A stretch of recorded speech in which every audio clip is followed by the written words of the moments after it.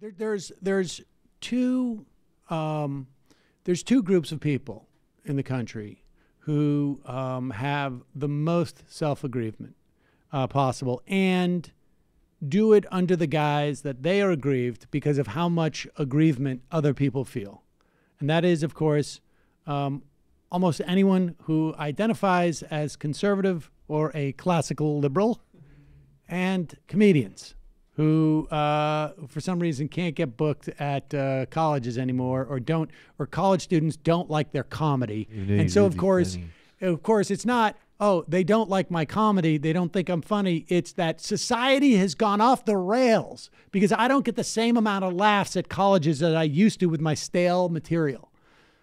Um, well, we held this uh, for today because Michael's such a fan of, uh, of the Bodega Boys. I love these guys. But they now have a um, uh, a show on Showtime, right? It's a nightly show. Put me on show. No, it's uh I Thursdays. it's, yeah, it's not. Yeah, it's not once, once a week. Yeah. Oh.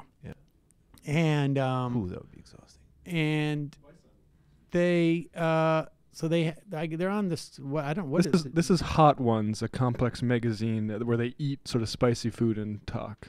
There you go. So uh, here's the Bodega Boys on Hot Ones, um, talking about PC culture, and and and their comedy is um, not PC. not PC.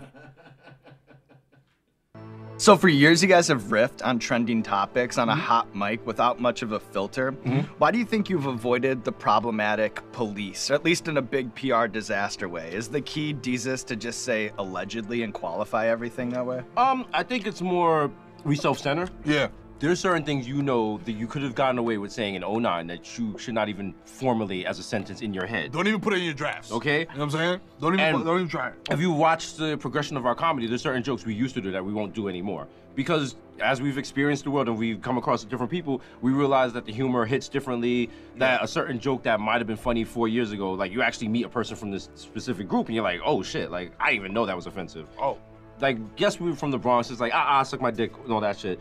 But we're not in the crosshairs of PC culture like that because we're not like fighting against it. Like we, we, We're not we're not out there like, oh, PC culture. Yeah, you can't say what you want anymore. You can't say what you want anymore. Nah, you can say what you want. You just got to be funny about it and like smart about it and approach it the right way. You know Mm-hmm. And don't I just mean? say Like- something for shock value, because Exactly. that's what a lot of people do. A lot of people are just like, "Oh, you're offended. Oh, I, I, I triggered you." libs." And Sorry, it's like, triggered you, libtard.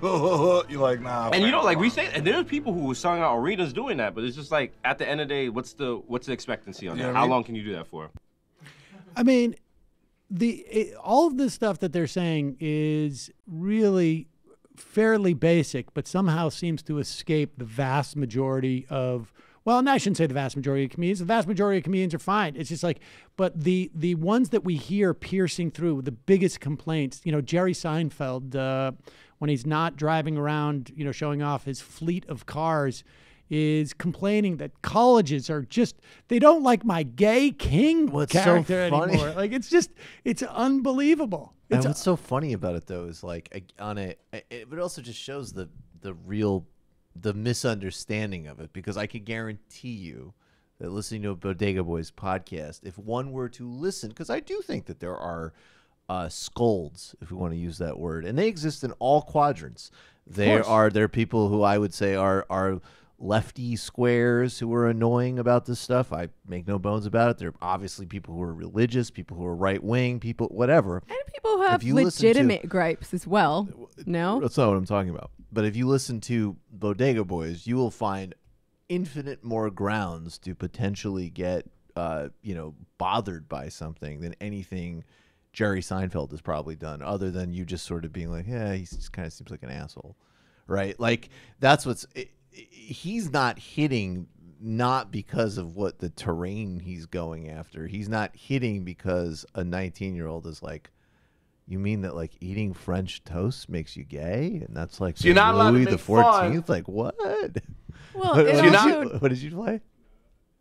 What was it? So you're not allowed to make fun of anybody ever. It also depends if it's coming from a place of good faith or bad faith, right? That's it's so partially much- what they're saying yeah, there, and yeah, they, I think so much I think their their empathy, their empathy, uh, you know, and where they're coming th- from comes through. I mean, I I think that there. I think one of the reasons.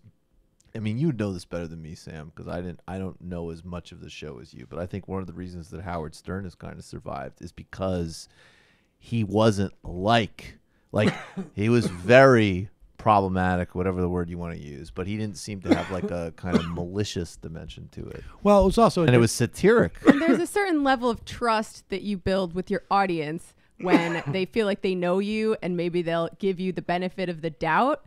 And if you ever do say something that maybe oversteps the line or hurts people's feelings, like you can have the critical distance on yourself to be like, all right, maybe I shouldn't have said that. Right. I don't think the problem is that. Um, I don't think that the idea is that people should. Um, that people should uh, necessarily self-censor all the time so they never step on a landmine. It's how you react to when you find out that this is a landmine, which is what they're saying. That's They're what they're- they and then realize- it's and there's so much context involved too. like I, I've talked a lot about this with uh, Jake Flores, the comedian and podcaster and friend.